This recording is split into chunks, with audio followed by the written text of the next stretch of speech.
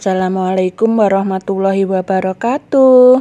Ketemu lagi dengan Maida, seorang ibu pejuang kanker, sebagai ibu rumah tangga dan istri petani. Apa kabarnya bunda-bunda dan sedulurku semua? Semoga semuanya dalam keadaan sehat walafiat, tak kurang suatu apa. Dan apabila saat ini ada di antara bunda-bunda dan sedulur semua, ada yang dalam keadaan sakit atau kurang enak badan, semoga segera diberikan kesembuhan dan kesehatan ya. Amin amin ya robbal alamin. Kali ini Maida mau jalan-jalan ke suatu tempat. Di mana ya? Ikuti aja ya Bunda. Ke mana Maida mau pergi kali ini? Oh ya Bunda, terima kasih ya pada bunda-bunda dan sedulurku semua yang sudah memberikan dukungan kepada Maida dengan memberikan klik uh, komentar dan subscribe-nya. Dan tak bosan-bosan Maida selalu memohon dukungan kepada sedulurku semua yang belum memberikan uh, subscribe like atau komennya. Maida uh, memohon untuk uh, berkembangnya channel Maida ini.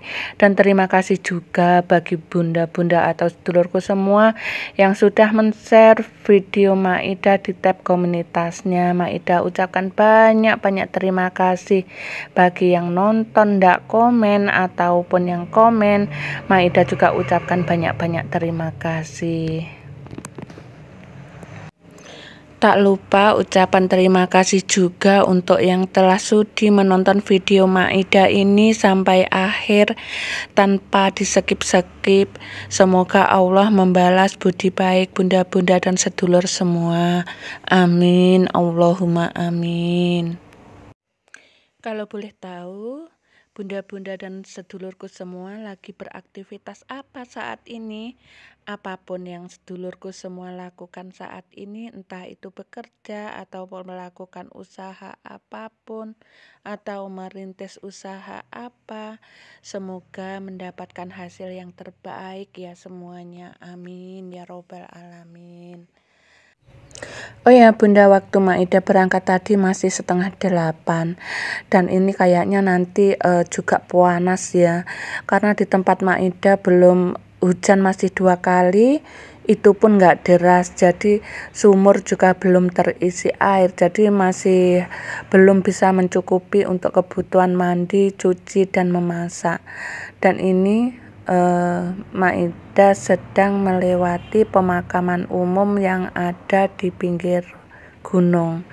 Dan sekarang Maida mau mendekati ini jalan mendekati anu Bunda. Mendekati Sungai Berantas nanti Maida mau nyebrang ke Sungai Berantas itu pakai perahu. Eh, perahunya gede jadi bisa muat e, motor beberapa motor. Mobil pun dua juga bisa masuk. Tapi kayaknya ini karena musim kemarau seperti ini debit airnya pasti cuma kecil. Nggak sebesar waktu hujan seperti itu ini jalan menuju pinggir sungai. Semuanya pada kering ya bunda karena belum ada hujan. Hujan cuma gerimis gitu loh nggak nggak deras gitu belum. Di tempat bunda-bunda kayaknya udah pada hujan ya karena saya kalau melihat video-video bunda-bunda itu sudah pada hujan. Coba uh, semoga di tempat Maida sebentar lagi hujan ya bunda agar uh, sumur itu segera terisi air agar nggak susah lagi untuk keperluan mandi, cuci, dan masak. Seperti itu sampai kering pinggirnya ya Allah. Dan ini sudah mendekati pinggir sungai. Sungai Berantas. Sekarang Maida ini masih berada di wilayah Blitar. Tapi kalau sudah menyeberang ke seberang sana itu sudah termasuk wilayah Tulung Agung. Mungkin ini ya yang daerah sini pembatas antara Blitar dan Tulung Agung kayaknya.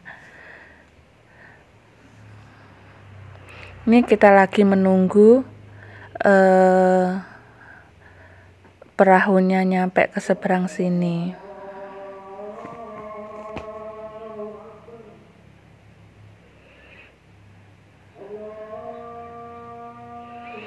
Tuh kelihatan kan Bunda uh, itunya perahunya. Perahu penyeberangan ini beroperasi 24 jam Bunda. Jadi kapan pun kita mau menyeberang melintasi sungai ini bisa dan uh, bisa diseberangkan walaupun hanya satu orang atau dua orang yang ingin menyeberang tetap saja diseberangkan. Sekali menyeberang kalau motor begini biarpun yang menaiki itu dua orang tiga orang tetap aja bayarnya cuma 2000 kecuali pada hari raya itu mendekati hari raya gitu 3000 tapi kalau mobil nggak tahu ya bunda berapa.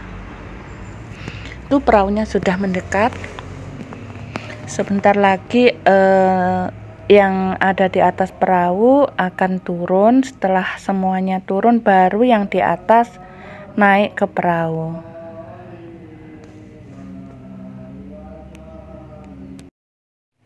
Dan di sepanjang sungai ini banyak sekali loh bunda penyeberangan-penyeberangan seperti ini. Jadi e, memudahkan masyarakat yang mau bepergian dari daerah sini ke daerah seberang sana dan begitu juga sebaliknya dari seberang sana ke daerah seberang sini.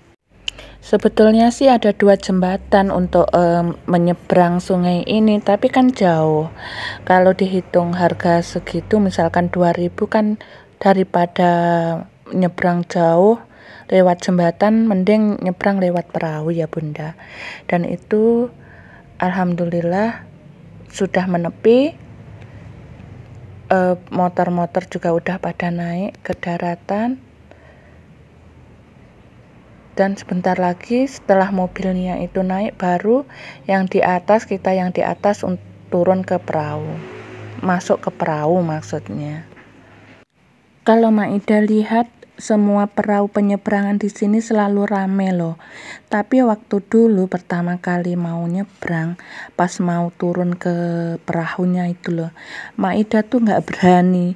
Alhamdulillah bapak-bapak tukang perahunya itu pada baik-baik. Siapa yang nggak berani turun sama motor gitu, pakai naik motor turun ke masuk ke perahunya dibantuin daripada nanti kebablasan gitu masuk ke sungai kan tambah bahaya ya bunda. Jadi e, waktu pertama itu Maida dibantuin dari atas tuh kan da, kalau yang dari wilayah Tulungagung tuh turunnya agak agak apa ya agak tajam gitu loh turunnya. Kalau yang sebelah sini kan landai. Nanti yang ke seberang sana itu turunnya agak tajam agak menukik gitu loh waktu dulu itu tapi semenjak sakit itu Maida sudah tidak dibolehkan lagi bawa motor jauh-jauh. Jadi kalau begini sudah sama anak sudah ini sudah tenang di hati. Maksudnya nggak ada rasa takutnya sudah. Mau nyebrang ke sana mau nyebrang ke sini karena dibonceng di belakang jadinya nggak nggak merasa takut. Ini karena di seberang jalan yang sebelah sana itu seberang wilayah Tulungagung itu kan ada pasar bunda. Pasar yang lumayan gede. Jadi para pedagang banyak yang uh, melintas di pasar uh, di jalan ini. Sampai ke ujung sana itu ada jembat dan Ngujang satu dan Ngujang dua dan ada penyeberangan lagi masih ada penyeberangan lagi juga di ujung sana. Di ujung yang sebelah kiri sana juga banyak. Dan ini sudah mau merapat ke wilayah Tulungagung ini. Masuk wilayah Tulungagung ini naik.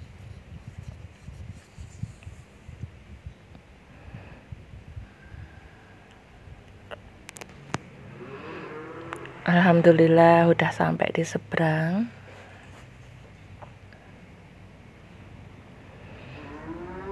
Banyak sekali orang yang mau nyebrang juga kan udah pada antri. Dan ini alhamdulillah ini kakak Maeda. Inilah tujuan kami ke sini. Nyekar ke makam bapak dan mbok. Mbok Maida itu meninggal pas Maida kemoterapi yang ketiga kasihan sekali dan ini adiknya Mbok sedang sakit stroke juga semoga beliau cepat diberikan kesehatan dan kesembuhan. Ini kakak Maida juga baru datang dari Jakarta jadinya uh, apa temu kangen gitu. Semoga Bulik Maida ini cepat diberikan kesehatan dan kesembuhan. Amin. Ya Allah Allahumma amin. Dan itu Pak Lek suaminya Bulik yang sakit tadi dan ini anaknya beliau. Uh, kalau lihat bulik seperti ini jadi keinget mbok karena mbok dulu sebelum meninggal juga sakit stroke seperti bulik ini. Ya Allah berikanlah surga untuk si mbokku. Amin. Dan lanjut ini kita ketemu kangen sama anak-anaknya bulik di depan karena sudah lama tidak ketemu Oh ya Bunda, sampai di sini saja dulu video Maida. Mohon maaf jika ada kilap dan salah-salah kata. Wassalamualaikum warahmatullahi wabarakatuh. Terima kasih.